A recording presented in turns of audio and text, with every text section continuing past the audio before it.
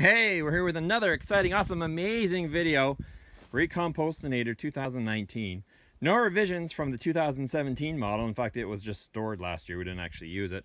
But we have a ton of compost to actually get rid of. For those of you not familiar with the awesomeness of the Recompostanator, long story short, it's a trash picked mower that doesn't really have any resale value. Uh, that's high in the front, low in the rear. So I run a little bit more oil in the crankcase because it does constantly run out of slope. It's got an entry point for compost, stuff that's already sat once. So it's a recompostanator. It takes what's there and regrinds it into finer bits and spreads it into a bin. We use these sheets of little plywood here OSB, whatever, to keep it contained into the bin here. But you shovel it in the front. We've got a little safety cage that goes over the handlebars over here to keep things safe and it spreads it in the back as a nice fine aerial mist.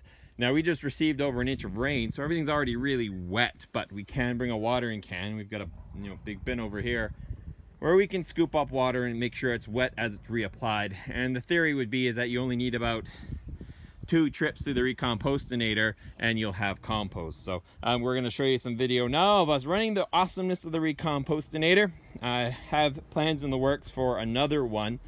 Things like uh, sunflower stalks, trees and branches, whatever. So it would have more of a top entry feature, but we also need to keep safety in mind when we do that. But anyway, here's Recompostanator number one, doing some hard work.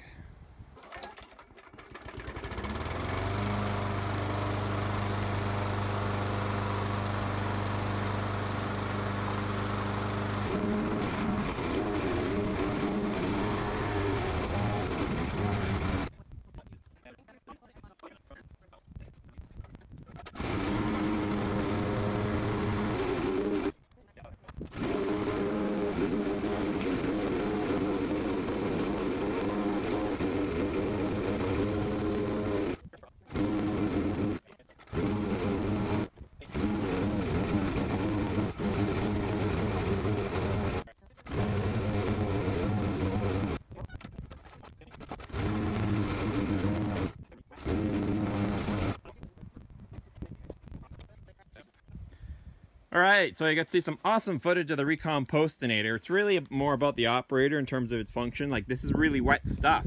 It likes sticking under the deck. In fact, we had to stop about three or four times to kind of clear out the mess underneath. But once you figure out how to feed it into the blade, don't get scared of putting the shovel under there letting the blade take it off and throw it back here. And so what you get left with, which you've seen in prior videos, is, is this stuff. Look at that you know that was this stuff which isn't bad right this is compost to begin with but it's got long strands and stuff and uh, wood shavings and chicken poop and stuff like that. So um, it does a really good job making this great. We'll monitor the temperature of this stuff.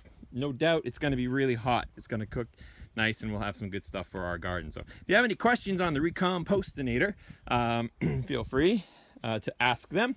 Comments are great. We did try to you know do safety on this one here. And subscribe to my channel, uh, Turbo 231. And I might put this on Red Barn Homestead just because it's a homesteady thing too. So uh, we got that going for us. So, all right, guys, you have a good day.